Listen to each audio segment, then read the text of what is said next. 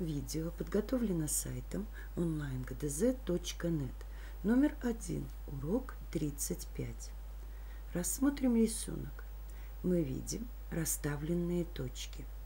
Наша задача – эти точки, обозначенные буквами, назвать. Затем назвать самую верхнюю и самую нижнюю, самую правую и самую левую точки – а затем соединить линии точки А и Б, поставить над нею точку К и соединить линии точки Д и М так, чтобы эта линия прошла через точку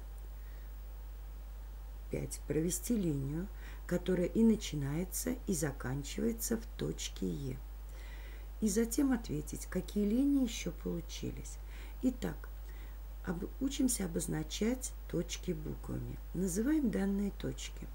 А, Б, Д, В, Е, М. Самая верхняя точка на данном рисунке – это точка Б и точка Е. Самая нижняя точка – это точка Д. Самая левая точка – это точка А, а самая правая – это точка М. Соединяем линии точки А и Б. А теперь поставим под ней точку К. Соединяем линии точки D и М так, чтобы эта линия прошла через точку 5. Проведем линию, которая и начинается – и заканчивается в точке Е. Какие линии получились?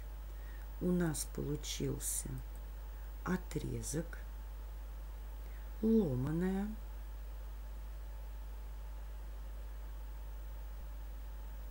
и кривая – это если бы мы провели линию, которая началась в точке Е и в точке Е закончилось. Проведем эту линию.